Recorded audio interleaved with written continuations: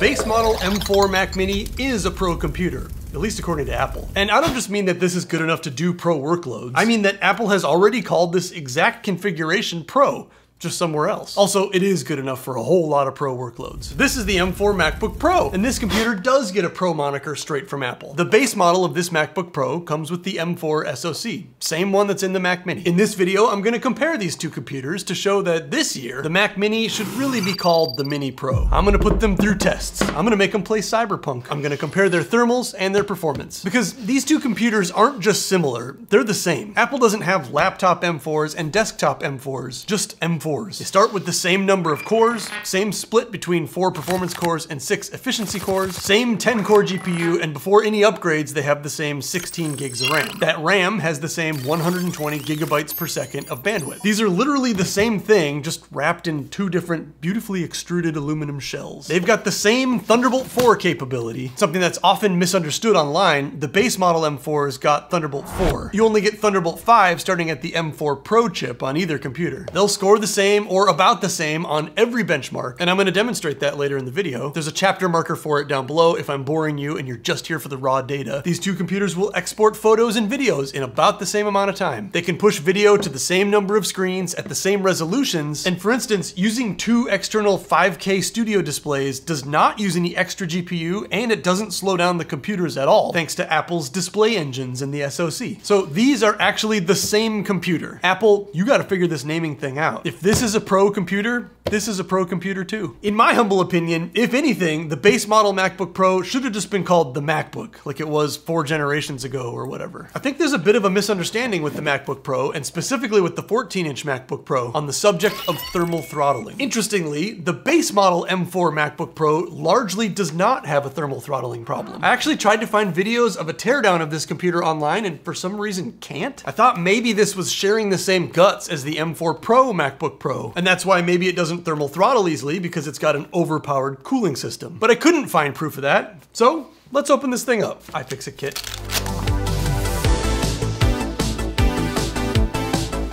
I can just push that around.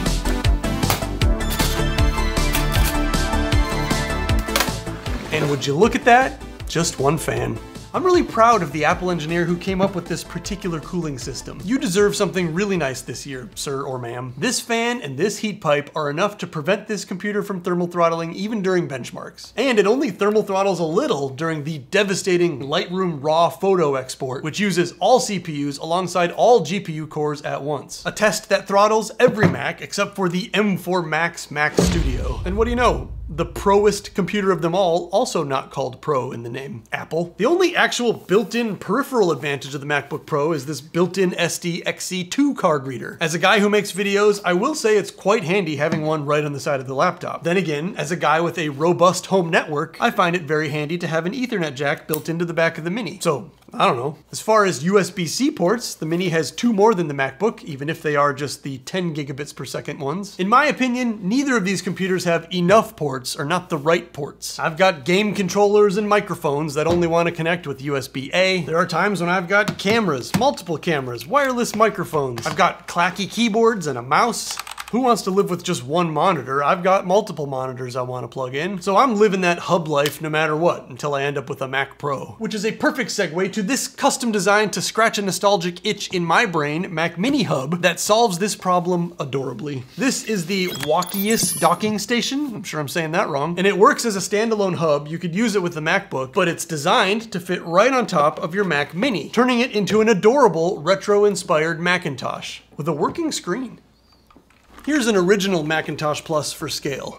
And by itself, this thing is fun, but it also gives you four USB-A ports, two on the front, two on the back, so you can plug in your non-Apple keyboard and mouse. It solves your SD card problem and has a micro SD card to go with it. It replaces the USB-C that you use to dock with it. And I don't know what you would leave up on such a tiny screen like this, but I just have it running HTOP in the terminal in like a retro skinned terminal just because I think it looks cool. This hub does not interfere with thermal management. Almost no heat comes off the top of a Mac Mini. All the intake and exhaust is happening down in the bottom. And as you can see, this is like slightly off the table still, so it's it's still getting its thermal management the same. Also, the video is passed through this USB-C cable, so you're still freed up with your HDMI port for your main monitor. But this does have a monitor in if you have a different source you want to use. And finally, there is an NV oh, it's stuck, an NVMe drive slot built right into the back. So you've even got external storage covered. No tools. It's a 10 gigabits per second connection. It's hilarious. There's a link below. Next, let's get to the tests. Let's get to the proof. Starting, as always, with Cinebench. And this test took 10 minutes, so I'm speeding it way up. And I'm putting up the live graphs here for the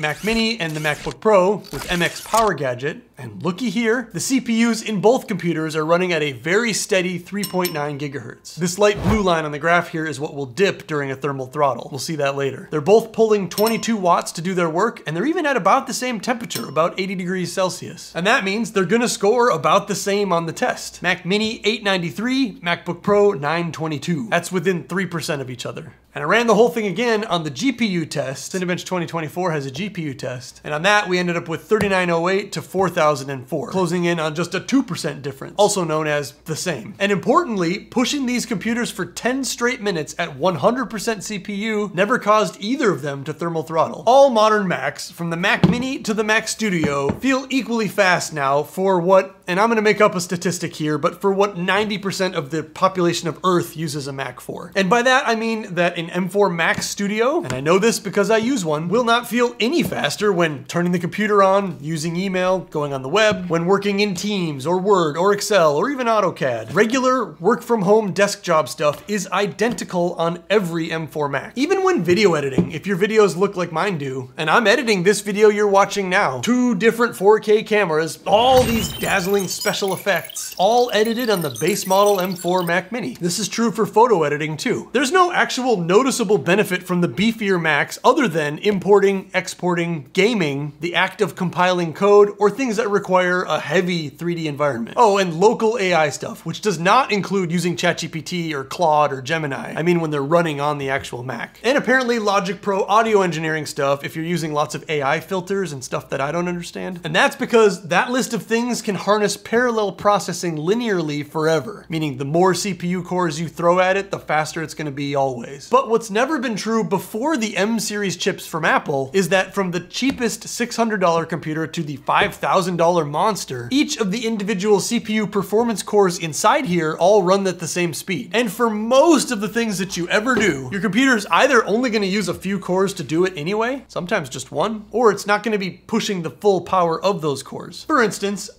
unzipping this mammoth 32 gigabyte set of raw photos for the Lightroom export I'm gonna test in a bit, you can see that the Mac Mini is only using about 50% of the performance core CPU power, even less of the efficiency cores. It's just leaving a ton of room on the table for you to be doing something else at the same time. What I find even crazier is that this unzip process is actually no faster on my $3,500 M4 Max MacBook Pro, which is beat up and kind of dirty. When I unzip that same compressed folder, this Mac is only using like 14% of its CPU core power. And I think that's because some of the things your computer does, unzipping included, are only single threaded. It'll only use one processor at a time. And the cores in the M4 Max are the same speed as the cores in the base model Mac Mini over here. It's just that there's more of them in this computer, which in this case just leaves more cores sitting idle. And on the stats, it looks like it's using four cores, but it turns out it's just hopping around any given four cores at a time for thermal efficiency. Other things do use all the available power. For instance, when I dropped those 1200 photos into Lightroom, here goes every performance and efficiency core straight to 100 while it's making previews and scraping those photos for metadata. So when the software is written to take advantage of parallel processing, lots of cores, then and only then is when M4 Pro, Max, and Ultra will act way faster. But your productivity, white collar, wasting away all day in meetings apps, don't. But that's not what this video is supposed to be about. I'm getting off topic. These are the same computer. I am yelling. One of my commenters said I yell instead of talk. It wears them out.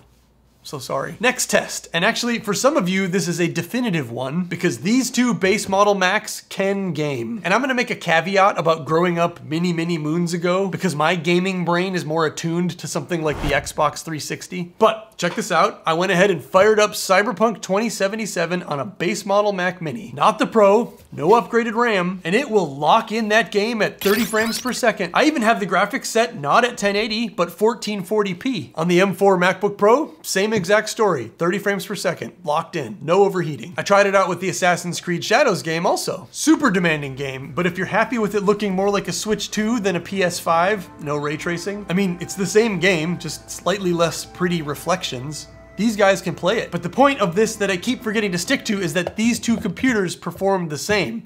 They both get about the same FPS on all the same settings. Finally, the Lightroom peak stress test. I guess the coders over at Adobe are just better at maximizing performance for M-series processors than everyone else. Because like when exporting video, for instance, almost all of the work these computers do happens in the media engine. During a Final Cut Pro export, the CPUs and GPUs in these things are just chilling. Which, on one hand, makes it great. If you have a long export, you can just keep using your computer like normal. But on the other hand, there's a lot of meat left on the bone. Split up some of that work and give it to the CPUs and GPUs. What's the harm? Anyway, Lightroom large raw photos to JPEG exports does put it all on the table. So my final demonstration to show that if you accept the MacBook Pro as a pro computer, then the M4 base model Mac Mini is pro too. This is 1200 raw photos. You can see now that when you light up all the CPU and GPU cores together, now you're pulling more like 30 watts from the system. It was only pulling 20 watts with the Cinebench tests. And therefore, now we do see some throttling. And the MacBook Pro will suffer from it slightly more than the Mac Mini does, which just goes towards my argument. If anything, the Mini's more pro than the MacBook Pro is pro, you know? But ultimately, though they're both throttling a little, neither is slowing down more than 10 to 15% of their max speed. And in the end, the Mac Mini was able to export these 1200 raw photos to JPEGs only six seconds faster than the MacBook Pro.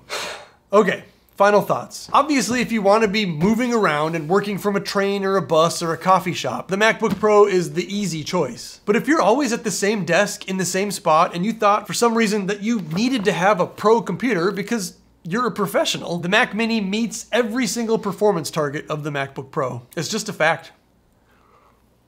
That's all I got. America runs on Dunkin'.